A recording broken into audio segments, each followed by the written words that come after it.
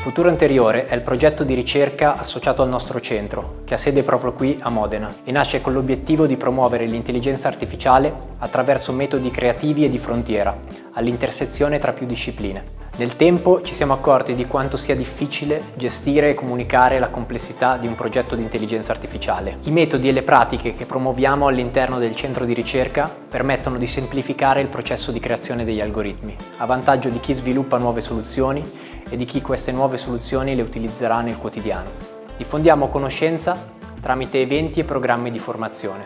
Disegniamo nuovi piani di sviluppo creativo degli algoritmi, utilizzando tecniche di design thinking. Questo permette di rendere accessibili le nuove tecnologie, a vantaggio anche e soprattutto di chi non dispone di conoscenze tecniche approfondite. Qui c'è una genialità.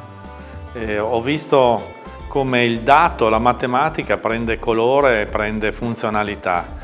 Eh, perché quando si parla di intelligenza artificiale c'è sempre un fatto mistico, mentre un computer è un fatto che puoi toccare, l'intelligenza artificiale, che tutti ne parlano, indispensabile, qui diventa realtà e diventa realtà nei processi produttivi, diventa realtà nei sistemi dell'istruzione e ho trovato veramente una genialità di chi dirige Amma Gamma che è un patrimonio sia di questa città ma penso che sia un patrimonio di tutta la nostra regione perché poi l'emulazione di questi progetti fa quella, quel grande campus di innovazione che sta diventando questa regione. La nascita di questo centro di ricerca per noi rappresenta un primo passo di restituzione verso il territorio che ci ha supportato in questi anni della nostra crescita e pertanto questo laboratorio vuole accogliere le imprese, le aziende, le persone, le scuole nell'andare a capire che il dato non è solo un elemento fine a se stesso, ma il dato va semantizzato, va relazionato, va reso emozionale e il dato ha un impatto.